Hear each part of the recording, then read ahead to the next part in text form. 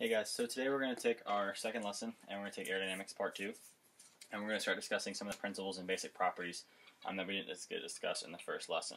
Um, so today's lesson, uh, we're going to go over some basic stuff like uh, forces in a turn, more stable, forces in a turn, um, stock actuators. We're also going to talk about propellers and stuff like that and we'll get going into there.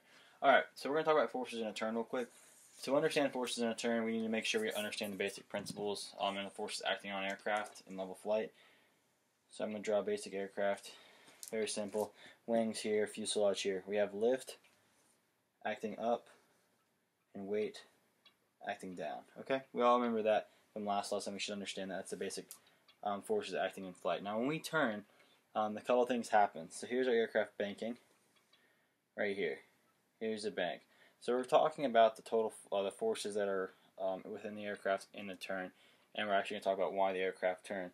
We have our total lift here. You can see it right here. This is what we call our total lift. Our total lift isn't going to change. Um, it's going to be right here the whole time. However, our total lift actually breaks up into two components. We have a vertical component of lift and a horizontal component of lift. So our total lift is actually equated from our vertical and our horizontal component of lift. Our horizontal component of lift is actually what causes the aircraft to turn and move around there. Okay, so if you um, think about this, if you take our total our total lift is equal to our vertical lift plus a horizontal lift. So that means when I'm turning, actually I'm losing some of that vertical component of lift. My vertical component of lift is actually what's going to be combating my weight. So if I'm losing a little bit of that vertical component of lift, I'm actually going to have to pull back a little bit on the yoke, a little bit of back pressure um, to keep the aircraft flying at a level attitude. Altitude, okay? Um, one thing it's important to understand is the law of inertia. An object at rest or moving in a straight line remaining at rest or continues to move in a straight line until acted on it by something, uh, some force. So our aircraft isn't going to actually turn until a force acts on it. This horizontal component of lift right here is actually that force that is acting on the aircraft, causing it to turn. Um, and it's the, the, the two components in an actual turn there. All right. So a little bit of like things you want to understand when you're going in a turn is rudder control and rudder usage. In our 172s and our G1000 aircraft, we have a ball, um, ball and slip, our turn coordinator. It's gonna be like a little um, indicator. It kind of looks like, kind of looks like this. Here's our ball. Um, an old steam gauge aircraft, the actual um, system looks like a little ball. So the term stepping on the ball is where we get that. Basically, when this starts deflecting out one way, you want to step on that direction. So if it deflects to the right, you want to add right rudder to bring the aircraft back into um, level a, a normal and uh, level turn. So there's two types of uh, uncoordinated turns. There's le- there's skidding. Um, there's skidding, and I'm gonna find this real quick. Skidding and slipping. Sorry, I don't why that my mind. Skidding and slipping. So you want to think about this in like terms of uh, turning around in a circle. So here we are turning around. If I'm skidding, that means my tail of my aircraft, instead of flying all in a line, my tail of my aircraft is actually slipping and going to the outside of the turn. It's skidding around. Think of it in a car when you skid a car, your back tail kind of fishtails out and it moves outside of the turn and stuff like that. So you'll see like you know people who are trying to drift their cars, they'll skid around a turn. Same concept. We don't want to do that in the aircraft. We want to have a nice turn where our tail and our nose are falling in a straight line. Slipping is the opposite. It's when our, our turn is uncoordinated again, and the tail of the aircraft is actually in, inside of the uh, the turn. And slipping, um, slipping and skidding are two part phases of flight that we want to try to avoid. We want to make sure that we center that ball throughout the entire uh, phase of flight, and that nothing um, is letting it get deflected out. Okay. So now we've talked about that for a little bit. Uh, we want to talk about forces in a climb. So what causes the aircraft to actually climb and why is it when we pull back on the yoke that we actually do get a climb. So I want you to think of it in terms of relative wind initially. So here's our airfoil right here and here we are in a climb. So you can see my angle of attack um, initially is going to change because my relative wind initially is going to be coming from here you know, here we are in level flight. My angle of attack, when I pull back, my angle of attack is actually going to initially change because my relative wind is still down here. Um, so I'm going to get a momentary increase in angle of attack, which is going to give me a momentary increase in lift. However, as I start climbing, I get established in that climb, that relative wind vector moves and it comes back here and it's almost like the normal angle of attack that I had at level flight. Um, that's because my relative wind, instead of now coming from the front of the aircraft, is coming in parallelness to almost my wing because of my thrust. Thrust is actually what's going to maintain the climb. It's going to maintain and let the aircraft actually climb higher and higher. Um, when we're out of available thrust is when the aircraft is actually going to um, hit its uh, service ceiling. Um, so just because you know, I've always struggled with this a long time. I thought when I pitched up, my uh, I'm climbing because I'm increasing my angle of attack and I'm thus increasing lift. Not really. Momentarily, yes, that is true. Uh, my my lift is increasing because my angle of attack is increasing, but actually my climb is based on it's coming from my excess thrust that I'm putting out from my engines. Um, so that's some of the forces um, in a climb. Now in descent, um, I want you to think of them again: weight, thrust, lift, and drag, all kind of in accordance with an aircraft. So let's draw draw an aircraft right here, kind of in a descent. So here he is kind of coming down in a descent right here. He's descending. So my thrust and my weight are actually starting to come closer and closer together because since I'm bringing my nose over, this vector of thrust and this vector of weight are starting to come closer and closer. The angle of difference is uh, closer. So they're going to actually work in accordance to pull my aircraft down and to pull me down um, quicker and into the descent. So if you think about it like in a car, in a car for sense, um,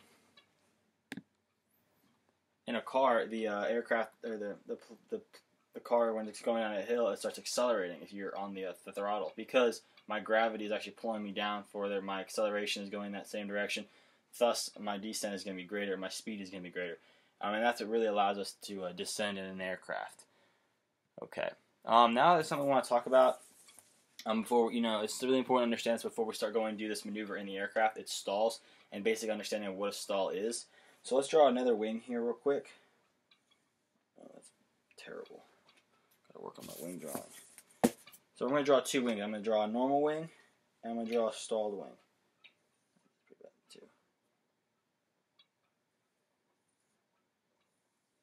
Okay.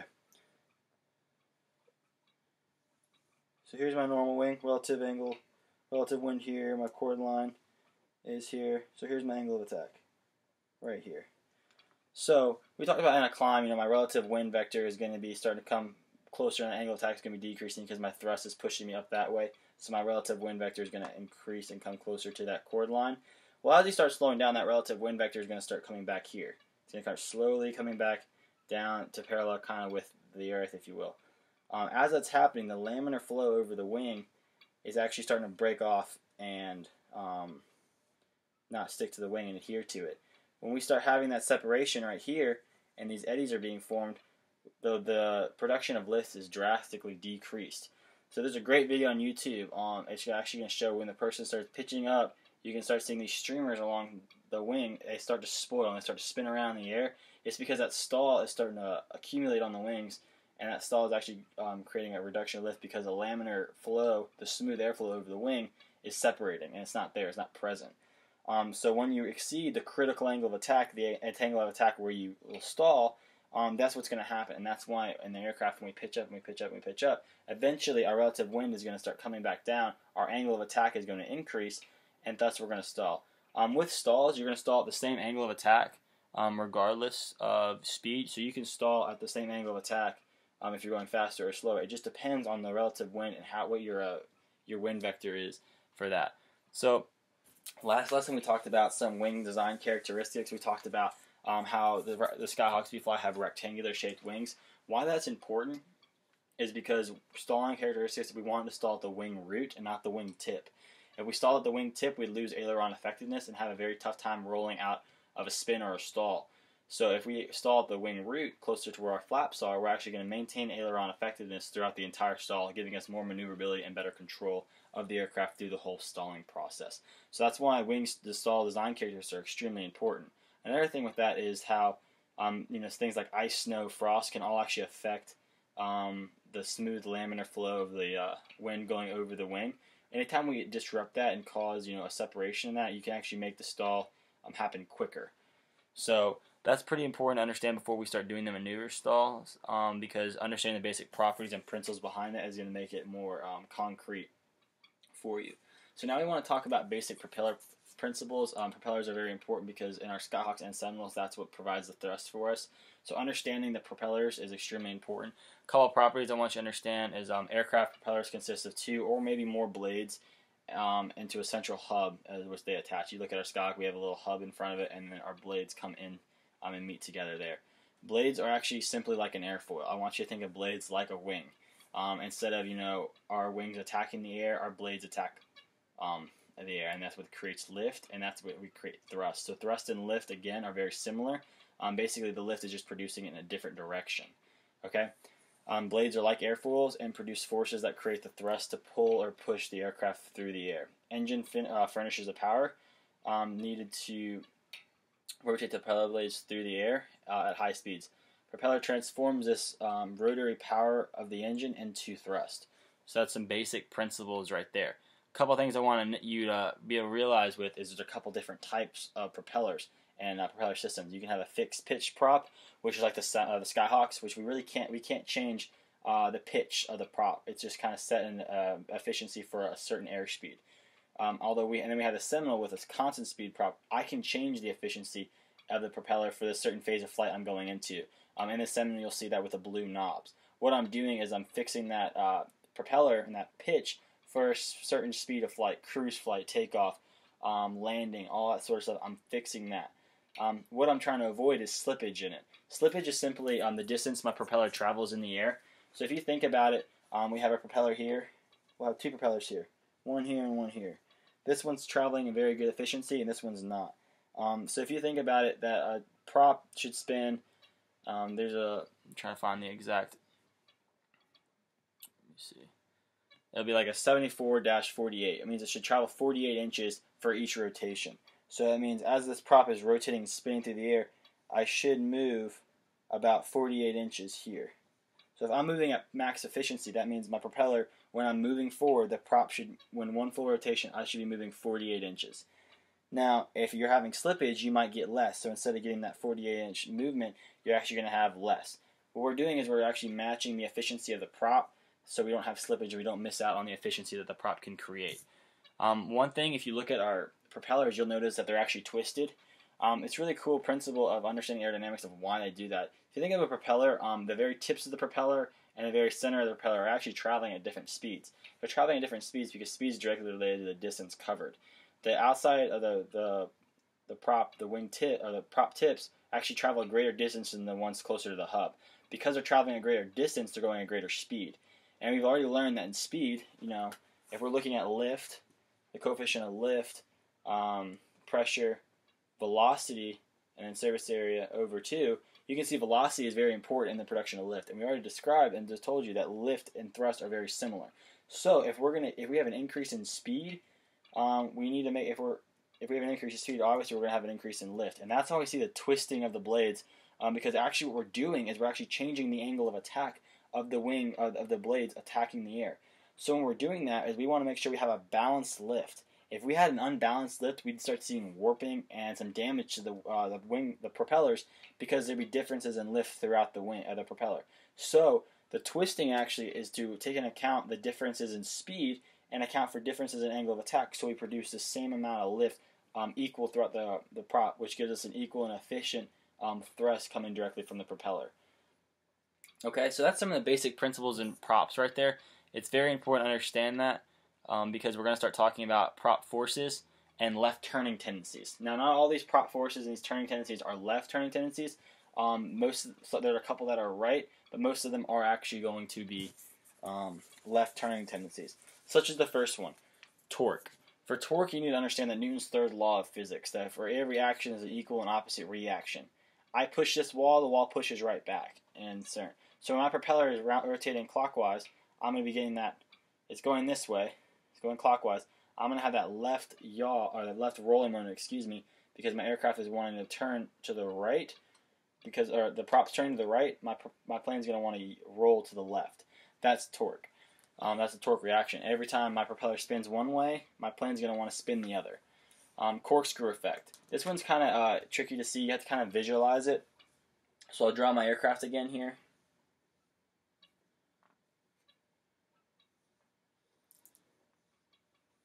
So here's my aircraft right here. Here's this prop. And this is going to be a left yawing moment. So when my aircraft is creating these, uh, it's flying through the air, it's creating these vortexes coming behind the aircraft and spiraling around it and spiraling around it. And it's actually striking the uh, left uh, horizontal stabilizer of the aircraft, the the rudder. It's striking the left rudder, if you will. And when it strikes that left rudder, if you, this is my aircraft and this is my rudder right here, the air is flowing around and it's striking this right here. If it's striking this, watch my uh, board, it's going to start yawing to the left. Because of that yaw to the left, I'm actually going to start feeling, um, on my takeoff roll, I'm going to start feeling that pull to the left. Um, so corkscrew and torque reaction are going to be moments to the left. Gyroscopic action is a little different.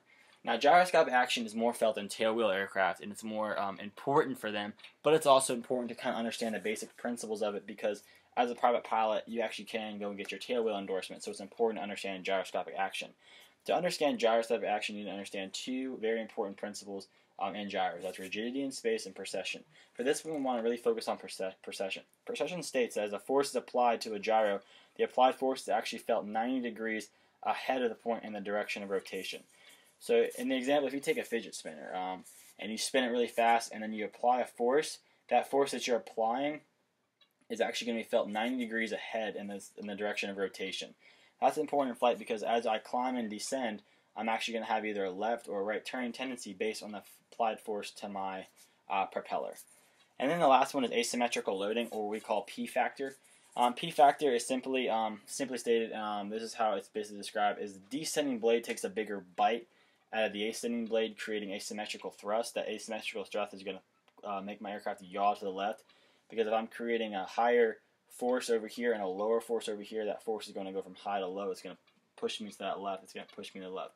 Now, saying it takes a bigger bite out of the aircraft doesn't really explain what happened, or a bigger bite out of the wind doesn't explain what actually happens and occurs when that's happening. Um, you need to think of it that my descending blade is actually attacking the air quicker. It's attacking it faster, and it's coming out and it's slicing at the air, whereas my other blade is retreating from the air. When my blade's attacking it, um, it's going at a higher velocity. We talked about the the lift equation. My velocity is squared, so as my velocity increases, so is my lift. If I'm retreating from the air, my velocity is actually decreasing. Thus, my lift lift is going to decrease as well. So that's asymmetrical loading. My attacking blade is taking a bigger chop, a bigger velocity out of the air than my retreating blade. Um, so those are four uh, turning tendencies in the aircraft, and that's important to understand because when you're on the uh, takeoff roll, you'll actually feel the aircraft lurch to the left, and you have to apply that right rudder to account for that. Um, with torque, you know, I said it's a rolling moment, but if you think about that, if we're on the ground and we're on a rolling, it's a rolling moment. People don't think, oh, if it's rolling, I'm not going to feel it until I start getting in the air. Not really. Just because it's a rolling moment doesn't mean that force isn't applied on the ground. If we have that rolling moment and it's going to start rolling us to the left because the aircraft's props turning to the right, it's going to put more friction on that left tire. That left tire is going to want to travel slower, and when this left tire travels slower, I'm going to start lurching and turning toward the left. Um, that's why torque is very important to understand and the ground roll as well. Um, so these are important factors in flight because if you don't actually understand them, you could get surprised by the aircraft when it lurches one direction or the other. Okay, now we're going to transition to something known as load factors or loading of the aircraft. Um, load factors, um, I got a couple really cool stories I'll tell about this when we start getting into it. But load factor is basically is the force of the aircraft imposed by the maneuverability, the maneuver of the aircraft, or the weight. Um, many people, when we talk about load factors, we talk about G's, pulling G's. We think about fighter aircraft. But in the uh, 172s, you will experience um, somewhere probably close to maybe 2 G's of force in some steeper turns. Um, not really more than that. But to understand load factors, each aircraft um, is equipped for a certain type of loading and type of load factor. Some aircraft can experience higher load factors than the than others. You know, our 172 can't experience the same type of load factors in the G's pulled in a you know F-18. Um, each aircraft is actually specifically designed for a specific purpose, like we've talked in other lessons.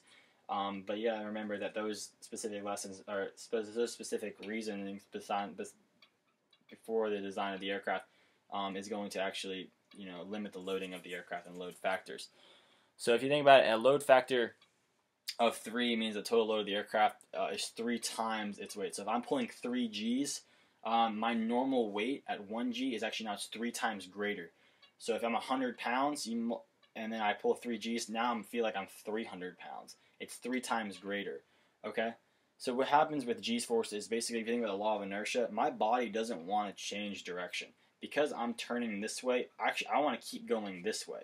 So when I pull back on the aircraft, my my body doesn't want to move. It wants to sit in the seat. So when I pull up, that G's, that gravity is going to push me in my seat. Same thing when I push the nose over, law of inertia, I want to stay. My body wants to stay where it is. Um, so I push the nose over. My body, my body is going to want to stay in that present. So we feel the negative forces of G's. Um, so limit load factors. Um, we said uh, it's important that for an aircraft to be able to handle um, load factors without any structural damage. So if you think about this, if I start pulling G's in an aircraft that over G my aircraft, I can actually cause structural damage, and that's why it's important to understand what it is um, and where you where your aircraft um, falls in. There's three categories your aircraft can fall in. Um, basic understanding. There's a couple more categories, but for a basic understanding of this, um, it's normal, utility, and acrobatic. So our 172s, a normal um, you know envelope, it's 3.8 positive G's to negative 1.52 negative G's. And then utility category is 4.4 positive G's to negative 1.76. Those are negative G's. Acrobatic is 6.0 positive G's to negative 3.0 G's. Now, there apparently um, the extras that we fly at Liberty also can go in like a like an unlimited acrobatic, which can go even farther than that. And there's different categories, but for learning purposes, it's important to understand these three basic categories because you can kind of get an idea for what your aircraft is um, designed for. So one thing, um, a maneuver we always do in private pilot um, and even in commercial is steep turns and understanding the load factors in a steep turn. Um, at a constant altitude during a coordinated turn to any aircraft, the load factor is the result of centrifugal force and weight. Okay, so if you think about this as I start turning and I start pulling back on my stick to you know maintain altitude, uh, I'm going to start feeling that load factor pulling me into my seat. When anytime you get over about 45 degrees of bank, you're really going to start feeling the effects of the loading on the aircraft. Um, and that's super important to understand because it makes you understand the feeling for when you're turning. Um, there's a really great chart in the PHAK. It's going to show like a little graph um, in my angle of bank in relation to my um, my G's pulled. So as you can see, my bank increases, um, my G is also going to increase. And at about the 45 degree mark, you'll see that G factor really just shoot up. Because after about 45 degrees, the G factors and the load factor you're stressing on the wings is actually going to start greatly increasing. Um, another thing that's important uh, to understand is that loading load factor actually affects stalling speed. If I have if I load up the aircraft at a bunch of G's, uh, my stalling speed is going to be a lot higher. Um, there's an example in the book that an aircraft with an unaccelerated stalling speed of uh, 50 knots could be stalled at 100 knots by inducing a load factor of 4 Gs. So I can stall at twice my airspeed if I'm pulling 4 more Gs uh, than normal. So that's important to understand because you get in those accelerated turns that we practice. When I start turning and I pull back on the stick, uh, I start feeling, you know, I start putting those G's on the aircraft. My aircraft's going to stall at a higher airspeed than maybe normal because of the induced load factor pushing down the aircraft and the wings. Um, so that's why it's important to understand that because when you're coming into landing, you don't want to start turning and banking and pulling because you're already at a low enough airspeed and, turn, and making that turn on final at a low airspeed and really cranking it in there, putting that load factor, you can put yourself in a, a spin or a stall close to the ground, which are almost never recoverable. So that's why it's important to understand that loading of the aircraft is um, is extremely important in understanding stalling um, the aircraft as well. Um, so loading during flight maneuvers, we talked about turns. Um, you, when you're turning, you're going to start feeling that load factor impressed on the wings. Stalls.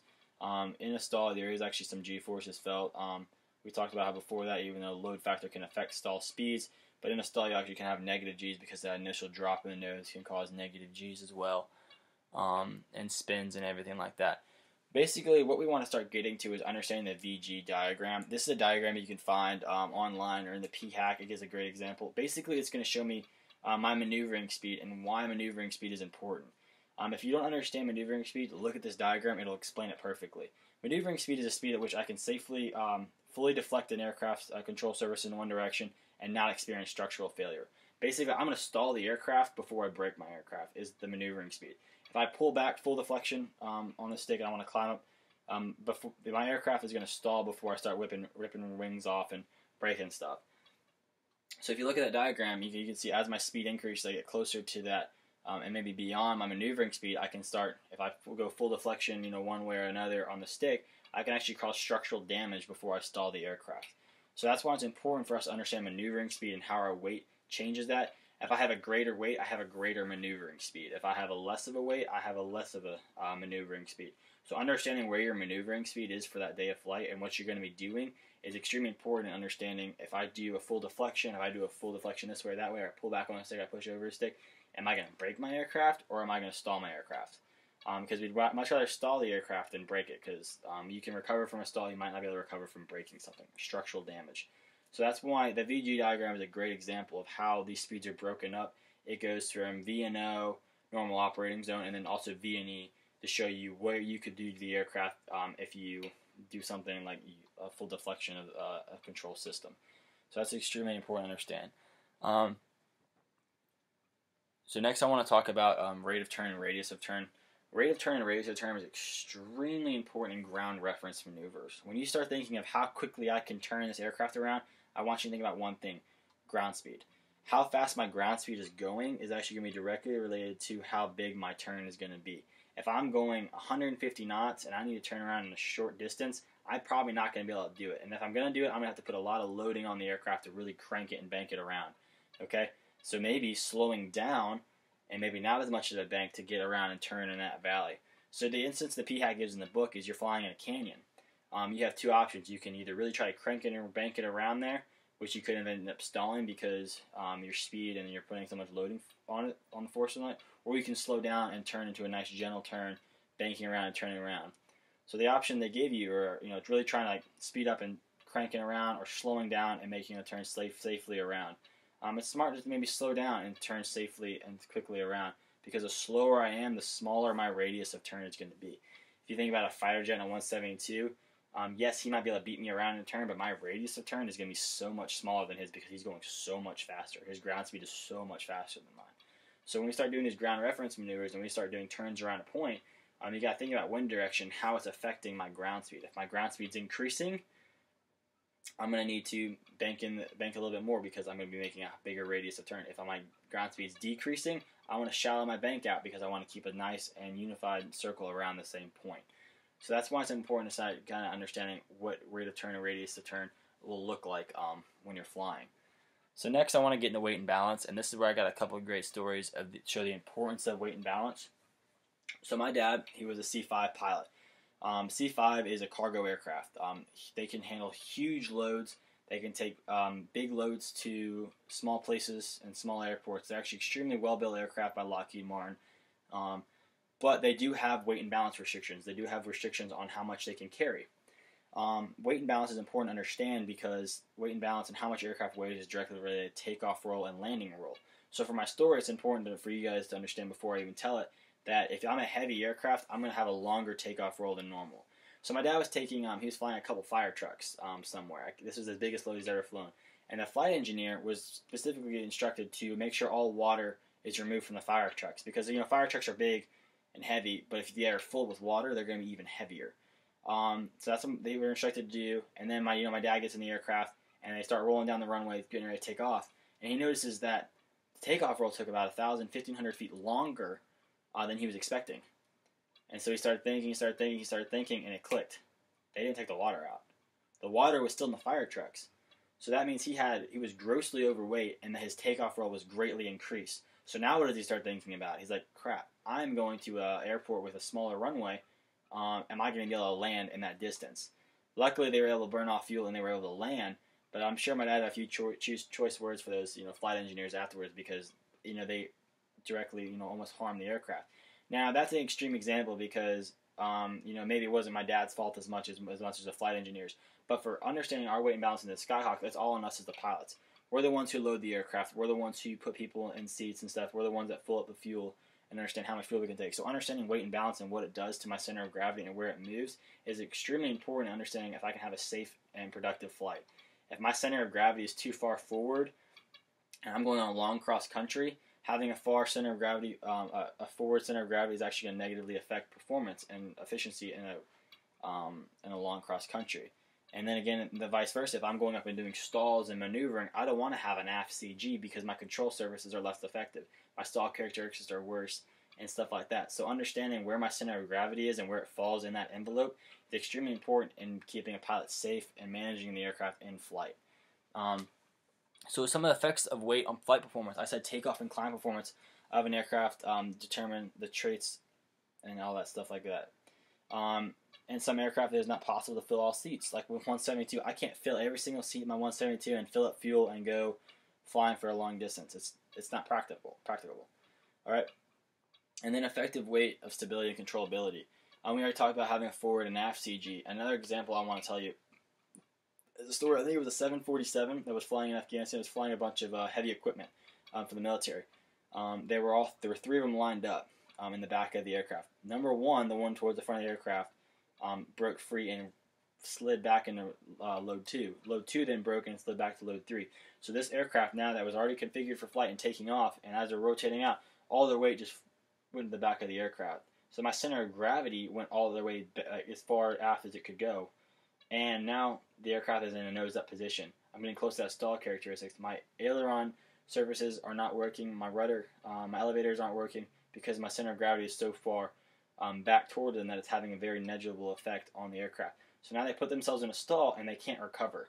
Um, the video is actually pretty, um, you know, it's, it's a little terrifying because you know the aircraft doesn't end up crashing because they couldn't control it.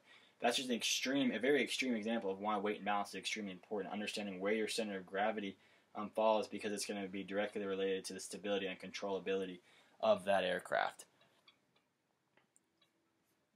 Um, so yeah, like I said, these are some of the very basic important principles in aerodynamics, um, effects of weight and balance, propeller principles, the four um, turning tendencies, um, turning, climbing, and descending in a uh, in in flight. How these all relate and why they're important. You got to start thinking that um, I want to put myself ahead of the aircraft. I want I already want to know what's going to happen aerodynamically before I even input that control surface. If I'm behind the aircraft and I'm not really sure what's going to happen if I do this or this or what's happening in the stall, I'm behind the aircraft, and that can lead to a dangerous uh, situation, a dangerous mindset, because I'm so far behind the aircraft that I'm not going to be able to control, um, recover in time, going to be able to control the aircraft in time. So understanding aerodynamics puts yourself ahead of the aircraft and puts you ahead of the uh, the flight to give yourself a better and a safer understanding of what's going on, and it, it, it it makes also a better training environment because when I can understand what's going to happen um, when I do something, what's happening with the wings out there, what's happening with my rudders and my ailerons, it makes me a better pilot and a better understanding of everything that's going on. Um, so that completes aerodynamics parts one and part two. Um, next week we're going to start talking about we're going to go even more in depth into um, weight and balance.